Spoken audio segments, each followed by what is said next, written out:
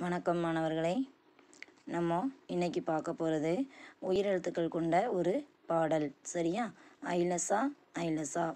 இந்த எழுத்துக்கள் பாருங்கள் அ ஆ இ ஓ உ உ ஏ ஏ ஐ ஓ ஓ அவ் அப்படி தானே சரி இது வரைக்கும் நானே தான் உங்களுக்கு எல்லா பாடல் இதெல்லாம் சொல்லி கொடுத்துருக்கேன். அப்படி தானே இந்த பாடலை பொறுத்த வரைக்கும் நீங்கள் இதை எழுத்து கூட்டி படித்து பாருங்கள் அதுக்கப்புறம் நாளைக்கு இதை நம்ம எப்படி படிக்கலாம்னு சொல்லி நான் சொல்லித்தரேன் ஒரு தடவை நீங்கள் வந்து இந்த பாடலை எப்படி படிக்கலாம்னு வந்து அதாவது எழுத்து கூட்டி நீங்களே என்ன செஞ்சுருக்கணும் படித்து பார்த்துருக்கணும். அப்போ தான் நாளைக்கு நான் சொல்லும்போது உங்களுக்கு எளிமையாக இருக்கும்.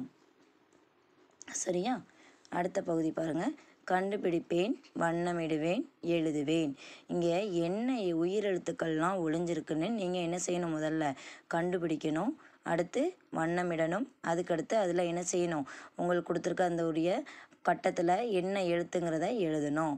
முதல் படத்தை பாருங்கள் ஆ அது என்னது? நெடில் ஆ அப்போ நீங்கள் அதை என்ன செய்யணும்? ஆவை கண்டுபிடிச்சி அதுக்கு என்ன பண்ணணும்? இலை இருக்குது அதில் அப்படி தானே அந்த இலையை வண்ணமிட்டு அதுக்கப்புறம் என்ன பண்ணணும்? ஓ நான் இருக்குது. அடுத்து ஐ. அப்போ இதே மாதிரி நீங்களும் கண்டுபிடிச்சி வண்ணமிட்டு என்ன செய்யணும்? எழுதணும். சரியா? அடுத்து பாருங்கள் யார் யார் என்ன செய்கிறார்கள்? பேசுவேன். அதாவது முதல் எழுத்து படத்தை பாருங்கள் என்ன செய்தாங்க?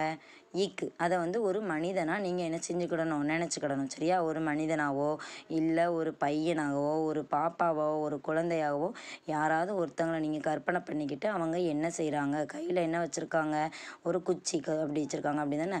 அப்போது என்ன செஞ்சுருக்காங்க? கையில் ஈக்கு அப்படிங்கிறவங்க என்ன செய்தாங்கன்னு கேட்டால் அவனுக்கு என்ன செய்ய தெரியணும்? கையில் குச்சியை வைத்துள்ளார் அப்படின்னு என்ன செய்யணும்? சொல்ல தெரியணும். இச்சுங்கிற எழுத்து தான். அவங்க என்ன சொல்லியிருக்காங்க பாருங்கள் இச்சுங்கிற எழுத்து எங்கே இருக்குது பாருங்கள் இங்கே இருக்குது. அப்போ அவங்க என்ன பண்ணியிருக்காங்க? இருக்காங்க. தலைகீழாக நிற்கிறார். இதே மாதிரி ஒவ்வொரு இடத்துல உள்ளவங்களும் என்ன பண்ணுறாங்க அப்படிங்கிறத நீங்கள் என்ன செய்யணும்? பேசி பழகணும். சரியா? அடுத்து நெல் கவனி செய். எந்த ஒரு வேலையை எடுத்தாலுமே என்ன செய்யணும்? கவனமாக செய்யணும். சரியா? நெல் கவனி போ. எங்கே பார்ப்போம்? சாலைகளில் பார்ப்போம். அப்படி தானே முதல்ல என்ன பண்ணணும்? சாலைகளில் போகும்போது நிற்கணும் அடுத்து இரண்டு புறமும் திரும்பி பார்க்கணும். வாகனங்கள் ஏதாவது வருதான்னு பார்க்கணும். கவனிக்கணும். அதுக்கடுத்து தான் என்ன செய்யணும்? போகணும். சரியா? அதே மாதிரி தான் இங்கே நெல் கவனி செய்.